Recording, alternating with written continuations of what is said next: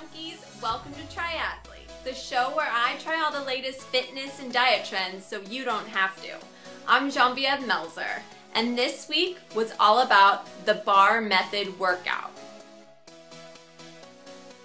The bar method isolates different muscle groups and works them till basically you can't work them anymore.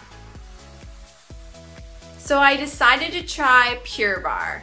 It's the bar method, but cardio style. I walked in and everyone had their cute ballerina buns and they were stretching out. All right, I can do this. But this workout ended up being so tough. And I'm used to hard workouts.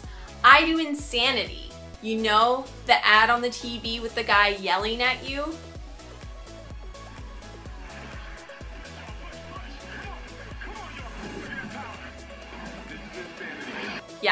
I do that. One of the moves we did in the workout was with hand weights. And we put our hands out and we pushed them together. One, two, three, four, five, six, seven, eight. But we kept going over and over and over and over and over. Overall, I would recommend Pure Barre to someone who wanted to challenge themselves, somebody who wanted to get good results but wasn't afraid to go through a little pain to get there. Thank you for joining us on Try-Athlete Fitness Junkies.